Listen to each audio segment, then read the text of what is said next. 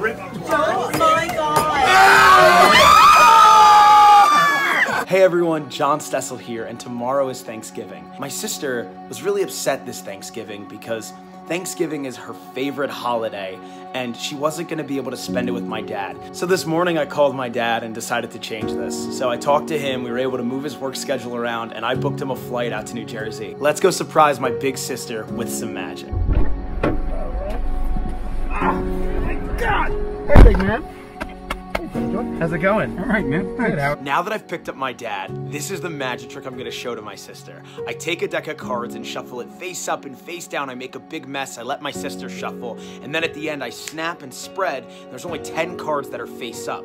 Those 10 cards make a phone number. That phone number is my dad's. I have my sister call that phone number, and then from the basement, you hear my dad's cell phone ringing. Once you hear his phone ringing, you make the connection. He's in the house! And this is what my sister's reaction was. Life, uh-huh. and you're thinking of anything. So it's Yeah. two zero one eight five, and then hit call. To do with that. Call and answer.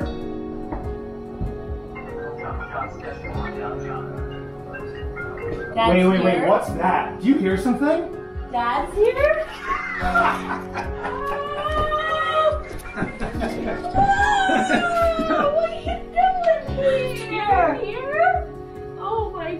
Couple of days. Couple of days. Couple of days. Was that the trick? Yeah, that's the trick. Couple of days.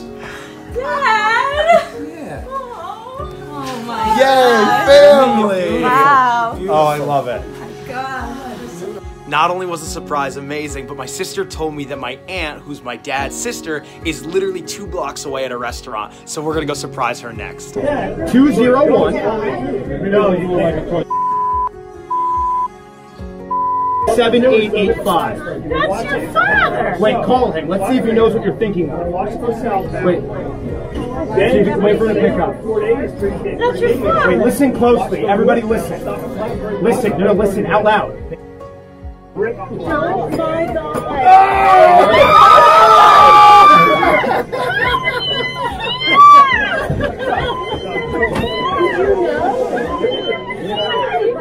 Oh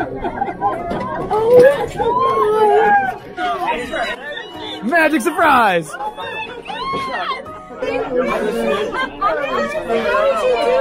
I wish I knew.